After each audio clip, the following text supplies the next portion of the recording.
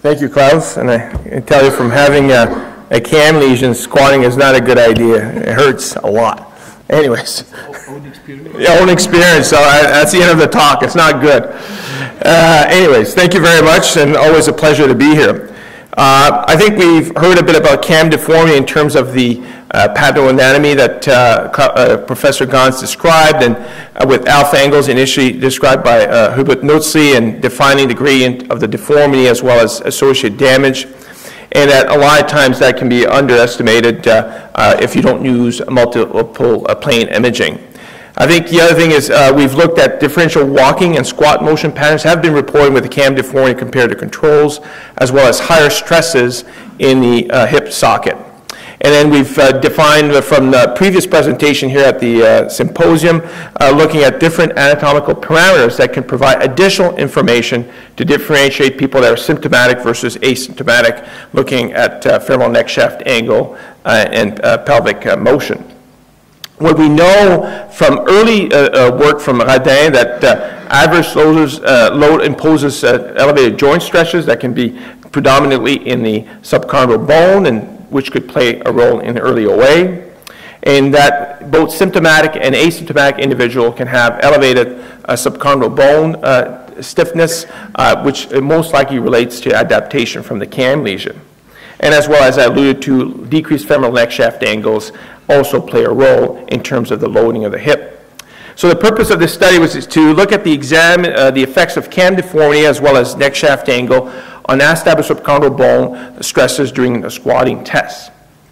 So we had six male participants, uh, two in each group, uh, symptomatic and asymptomatic, and also we had uh, different uh, head, neck, shaft angles in, two, uh, in these subgroups. And these all had CT as well as uh, specific squatting exercises, MRI data, and physical examination with a mean age of 32.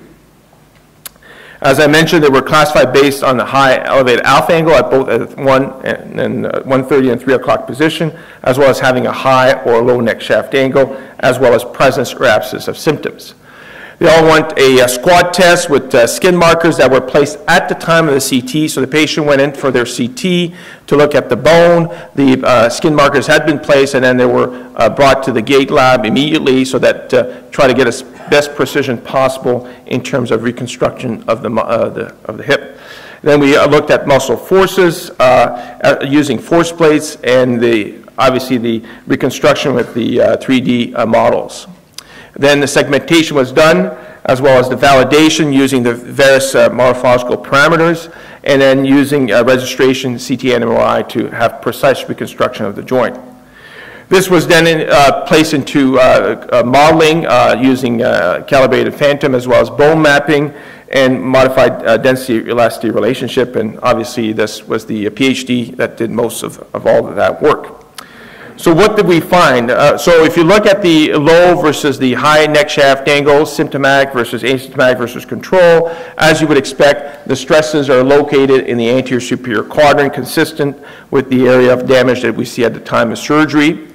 Uh, if you look at where the uh, most of the, uh, the, stresses were applied on the cartilage side, again, the ones with the lower neck shaft angle had the most stresses at uh, 9.3 megapascal. But then if you look at the subchondral bone in that same patient, you can see that the stresses were significantly higher in the subchondral bone compared to the uh, cartilage area in both the symptomatic and asymptomatic side.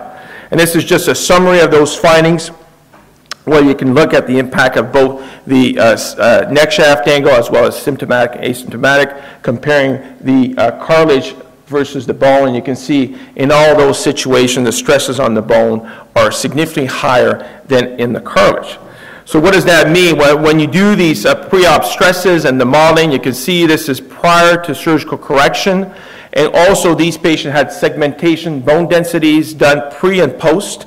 And what you can show is that once you've corrected the deformity, you'll see the stresses are relieved significantly and we've actually uh, been able to alter the bone density on the established side by about 5 to 10% significant decrease after surgical correction of the cam deformity, which correlates well with the FEA modeling, so that not only are you able to show the in vivo, but also uh, the uh, uh, modeling of it correlates post-surgical correction.